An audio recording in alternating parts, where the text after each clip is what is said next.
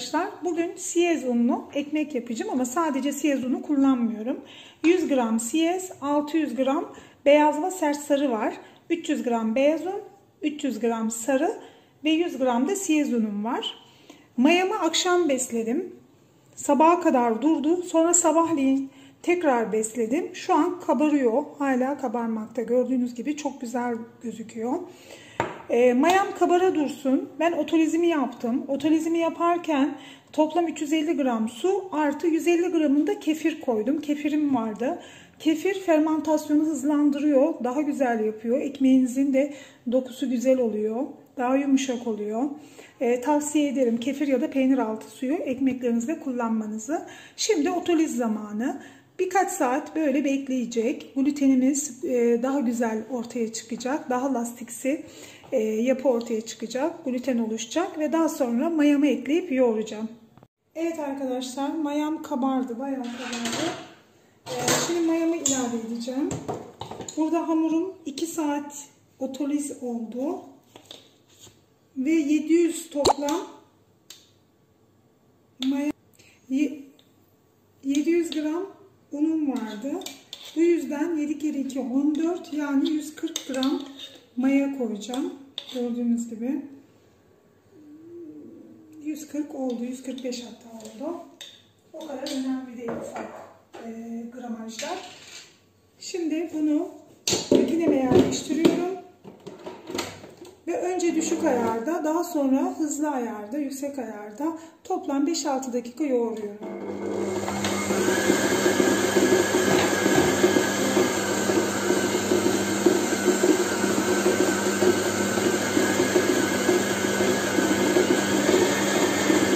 Tuz eklemedim, tuz ekleyeceğim. Bir 10 gram, pardon 12 gram kadar şöyle tuz ekliyoruz. Ben göz kararı ekliyorum. Bir tatlı kaşığı 10 gram oluyor. Şöyle karıştırıyorum. Daha sonra hızlı ayara çevirip hızlı ayarda karıştırmaya devam edeceğim. Evet, e, gördüğünüz gibi yeteri kadar yoğurduğumu düşünüyorum. Hamurumuzu alıyoruz. Ve gluten testi de yapabiliriz. Bakın ne kadar dirençli ve gergin bir hamurumuz var. Parçalanmıyor. Şöyle çektiğimiz zaman sünüyor. Bu da iyi yoğrulduğunu gösterir ekmek hamurumuzu. Şimdi bunu alıyorum ve zeytinyağı sürdüğüm kabıma aktarıyorum.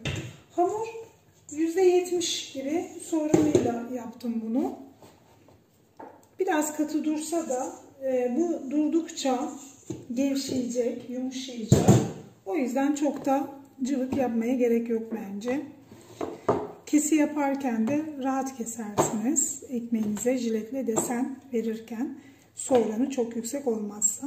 Şimdi bunun ağzını kapatacağım. Bir saat sonra tekrar katlama yapacağım.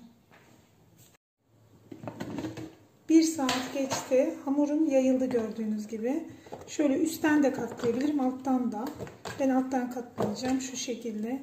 Gördüğünüz gibi hamurumu sündürdüm, katladım. Şöyle. Bir saat 45 dakika ya da bir saat sonra hamur yayıldığı zaman tekrar katlayacağım. Birinci katlamadan sonra 45 dakika geçti. Ortam çok sıcak değil. Bu yüzden 45 dakika aldı yayılması, gördüğünüz gibi rahatlaması. Eviniz çok sıcaksa bu şekle gelince, rahatlayınca katlarsınız. Daha erkense 30 dakikada da yapabilirsiniz. Hatta biraz daha bekleyebilirdim ben. Şöyle tekrar alt üst ediyorum gördüğünüz gibi. Şu an yüzeyinde küçük küçük gördüğünüz gibi şöyle baloncuklar oluşmaya başlamış.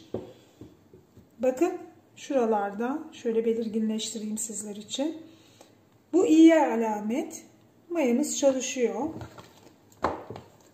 Şimdi yine bir, bir saat bile beklerim. Bugün hava biraz daha serin. Bir saat beklerim. Bir saat sonra üçüncü katlamamı yapacağım.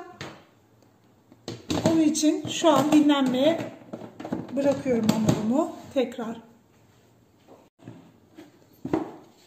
Evet arkadaşlar 3 katlama yaptım. 3 katlama sonrası biraz daha beklettim hamurumu. Gördüğünüz gibi kabardı. Fosfos içi hafifledi. Baloncuklar oluştu. Şimdi bu ekmek, e, bu hamuru ikiye böleceğim. Çünkü bayağı büyük 700 gram bir ekmek için. Gerçi 700 gramı bir ekmek olarak pişiren arkadaşlar da var. Yani tercih sizin. O şekilde de yapabilirsiniz. Şöyle hamurumu boşaltıyorum. Satış yapmadığım için ben göz kararı iki tane eşit iki eşit parçaya böleceğim. Şöyle yapabilirim. Şimdi bu ön e, şekillendirme oluyor. Şöyle elimle şu şekilde şöyle bir beze haline getiriyorum gördüğünüz gibi. İri bir beze. Bakın baloncuklara. Bunu böyle koyuyorum. Diğer hamurumu alıyorum. Bunu biraz daha büyük galiba kesmişim. Önemli değil. Şöyle birazcık bu şekilde bir yarım saat tezgahta dinlendireceğim. Şöyle üzerine örtü örteceğim. Yarım saat sonra bu sefer e, sepetlerimi alacağım. Bambu sepetlerimi. Hamurum yarım saat dinlendi. Hemen şekil veriyoruz. Şu şekilde biraz açıyorum açabildiğim kadar. Şöyle. Yırtmadan. Güzel yüzeyi alta geldi. Şimdi bu taraftan buraya şöyle biraz yapıştırıyorum. Sonra şuradan ve buradan sıkı bir şekilde şöyle sarıyorum. Şuradan yapıştırıp biraz döndürüyorum. Yüzeyin yırtılmamasına dikkat ediyorum şu şekilde. Böyle biraz döndürüyorum ve çekiyorum. Şöyle.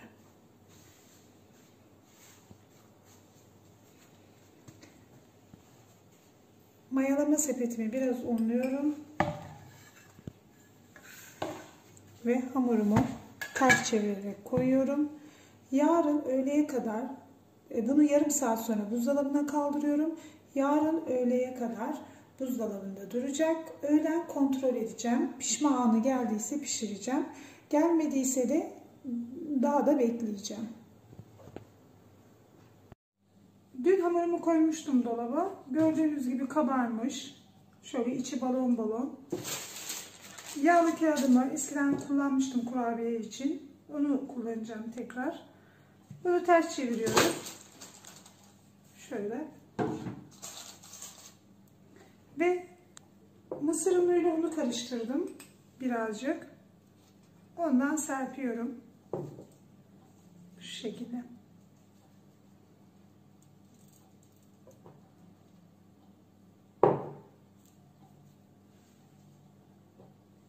Elimle sıvazlıyorum.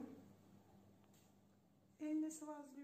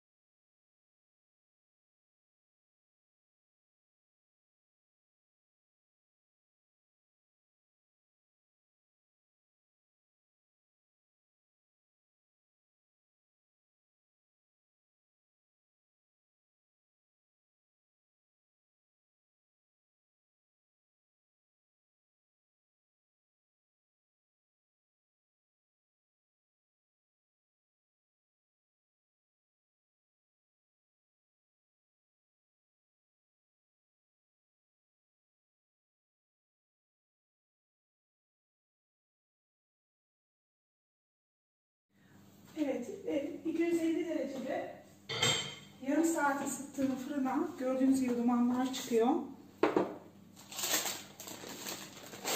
Hamurumu koyuyorum. Ağzı kapaklı 250 derecede bir 25 dakika pişireceğim. Şekli alıyorum. Evet arkadaşlar 250 derecede 20 dakika 200 derecede de bir 15 dakika pişirdim. Bu şekilde oldu.